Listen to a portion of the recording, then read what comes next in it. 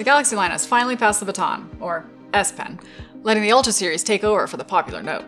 With the same form factor as a Note and the same features as Ultra's past, are we looking at old news? Not so fast. There's always more going on under the surface. Thanks to Creative Electrons X-rays, we can see under that surface without even opening it. And yeah, okay, this looks pretty familiar inside. Except, where's the vibration motor? Looks like it may have gotten a significant redesign and migrated to the other end of the phone. Might be worth investigating. With a lot of heat, a suction handle, and some adhesive slicing, no surprises here, we...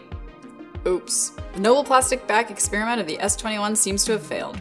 Samsung is still using fragile glass backs, and thanks to some impressive camera bumps, our mat isn't able to evenly distribute heat. Samsung used to use expensive jigs to get around this, but it turns out they've started recommending lower heat and simple gel packs, at least in French. The adhesive still feels pretty stubborn, but a longer repair that's actually DIY friendly is still an improvement. We're guessing the French repairability index is forcing Samsung away from the dark side and toward repair. Now we can see some of the internal differences. The Ultra has an extra connector for the S Pen and an extremely hefty extra camera. After disconnecting several cables, the motherboard lifts out with the rear-facing camera still attached. While the S22 has a nice, but standard, trio of cameras, a 50 megapixel wide, 12 megapixel ultra wide, and a 10 megapixel telephoto with 3x zoom. The Ultra has some pretty compelling upsells. Its wide camera has a massive 108 megapixel sensor, the Ultra also has an additional 10 megapixel telephoto camera with periscope lens. Samsung introduced its periscope camera in the S20 Ultra, and it uses a clever combination of software and lens technology to achieve its 100x zoom. Using an optically stabilized prism, light is bent 90 degrees and shot through a series of stacked telephoto lenses. You can see our green laser dot dancing in the image sensor after getting deflected by the teensy prism. All that engineering only gets us to 10x optical zoom. For the rest, Samsung uses a combination of cropping, pixel binning, fancy way to describe combined groups of pixels that gather more light, and standard digital zoom to get you all the way to 100x. Back to those motherboards. We peel up a lot of thermal management material, and our reflow station makes quick work of this board parfait. Notable chips include the Snapdragon 8 Gen 1 system on chip and a measly 8GB of RAM. We didn't spring for the once standard 12 gigs. Hungry for more silicon snacks? Our stellar iFixit community has already taken a microscope to this board and figured out what these chips actually do.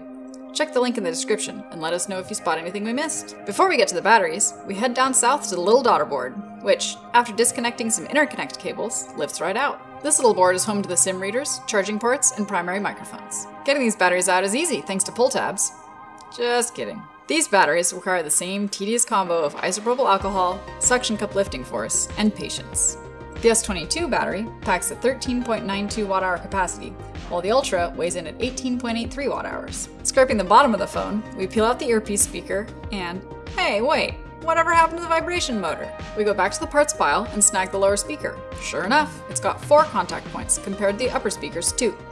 That's two for the speaker and two for the vibration motor. By the looks of it, Samsung is still trying to chase a robust Taptic engine-like feedback without sacrificing as much space as Apple does. This new direction may help them turn their typically lackluster haptics into something small and mighty. You'll have to let us know if it works out. Ours isn't going back together. We also wake our sleeping S Pen from its winter's nap. Aw, so cute. Looks like 10 years of testing in the Note series was enough to deem it worthy of Samsung's main flagship. After a miserable rear panel experience, we're finally brave enough to tackle the 120Hz refresh rate AMOLED display. The tight seams and ultra tough adhesive make screen removal pretty awful, but for once we don't separate the layers. Whew! Luckily, the only time you should need to do this is if you're replacing an already cracked display. Peeling up some graphite, we get a clear view of the new stainless steel vapor chamber cooling system. Like traditional heat pipes, vapor chambers are used to transfer and disperse heat from a high energy source, like the S22's SoC. Stainless steel allows this vapor chamber to be stronger, more efficient, and an ultra thin 0.4 millimeters. Come to think of it, we've seen a lot of heat dissipation efforts in here. Oodles of graphite tape, some serious thermal paste, and now this beefier vapor chamber? At a guess, we'd say that catching up to Apple Silicon is starting to make Samsung sweat. Pun intended. Faster processors mean more heat, and if you can't get them to run super efficiently, then you have to bleed that heat off. Our two cents? Make this phone a little thicker. You'll have more room for heat dissipation and room for stretch release battery tabs. It's a win-win. All told, disassembling the Galaxy S line hasn't changed much. In fact, both the Galaxy S22 and the S22 Ultra score a 3 out of 10 on our repairability scale. While the only screws are standard Phillips, that's about the only upside. Battery replacement remains too difficult for a component with a limited lifespan, and every repair will require battling through tough adhesive.